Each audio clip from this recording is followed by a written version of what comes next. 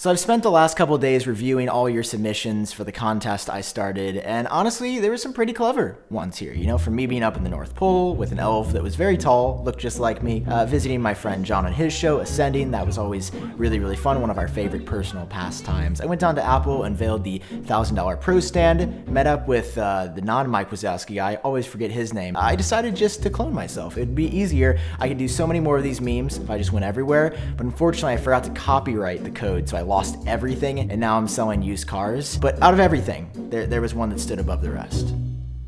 And that's how you market to a 90% male demographic. What's up? Welcome to Tech YouTube. Sam here.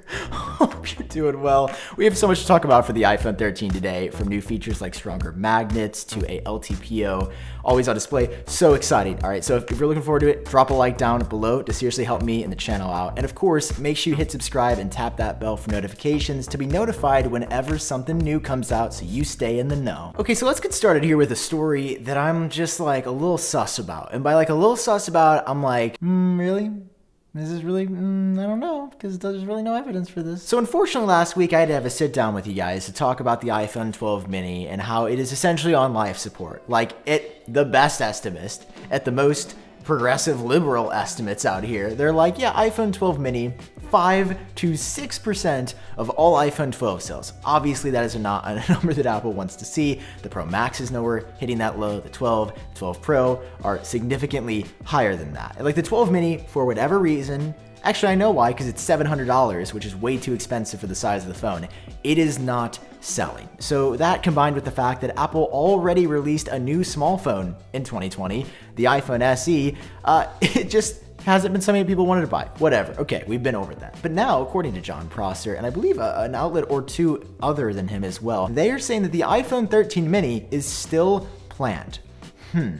The iPhone 13 mini is a successor to the 12 mini, obviously. I just don't see a world, like, call me crazy, where the iPhone 12 mini, which is a super cycle major upgrade year, is not selling. And then Apple comes along with an S year like iPhone 13 mini, and everybody's like, oh, wow, we love this phone. We haven't appreciated it as much. Unless Apple doesn't release a new version of the iPhone SE this year which is what Prosser suggests actually might be happening. Some of you have been wondering about the iPhone SE Plus or like an iPhone SE3 model, and initially we heard that we would be seeing a new one of those this year, but it would make sense for Apple to skip the new iPhone SE in favor of releasing the iPhone 13 mini, keeping that mini-sized major flagship iPhone a part of the lineup in lieu of releasing a small, affordable, cheap phone. Now, I don't necessarily agree with this. I'm just saying it makes sense for Apple to keep the iPhone 13 mini around if there is no new small phone in 2021 from them. So it's like with no new upgrade to the smallest phone and no budget phone available, maybe it will push people up and they have research to suggest that those people will buy the 13 mini. I mean, I would say that the 12 mini should be a one and done from my perspective, unless Apple drops the price significantly. Like if Apple could sell the 5.4 inch mini sized iPhone for like $550, I think it would be the perfect value, greatest phone of all time, and they would kill it. But whether it goes or stays, there are still a lot of new features we've heard about recently for the iPhone 13. In fact, a fresh report came out from Max Weinbach, who is around 70% accurate in collaboration with Apple YouTuber Titan, Everything Apple Pro. We have gotten so many new details that we've never heard before. Guys, some of this stuff is wild. Uh, and it's starting to paint a clearer picture of exactly what the 2021 iPhones are going to be. Because, like, obviously, we've already heard about in-screen Touch ID, 120 hertz display, you know, no Lightning port on here, A15 processor. But, like, those things combined has kind of been like, hmm, well, I mean, I might. You know, like that, that meme where she's like, so let's talk about the new stuff in this report. All right, first off, always on display is coming. Now, Apple has toyed around with this internally for a while, but they have never done it, likely because the hardware on the iPhone technically would support it with OLED, but it wouldn't be as battery efficient as Apple would like it to be. So, for example, the Apple Watch Series 5 was the very first Apple product we ever saw with an always on display. And it makes sense, like a watch face should probably stay on all of the time. The way Apple was able to achieve this is by putting a LTPO display, which we don't need to go into like the exact abbreviation breakdown. It means that Apple has control over the refresh rate. So if they want it to be 120 hertz, they can do that. If they want 60, they can do that. If they want 24, they can do that. Or like on the Apple Watch, it actually goes down to one hertz.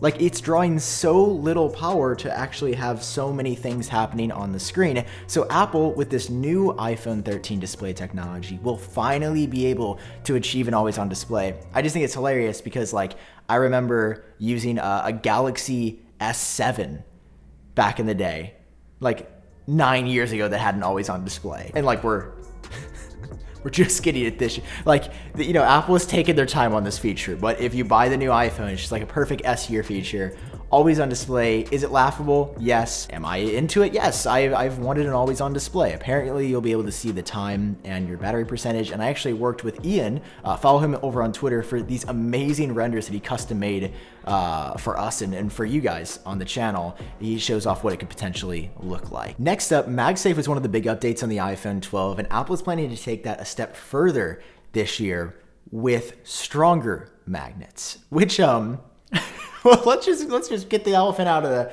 out of the closet. Uh, elephant in the there's an elephant in the room, guys. Watch out, he can stomp all over you. so uh, apparently, like the iPhone can interfere with like a, a, a little thing. What is it called? My grandma had one of these.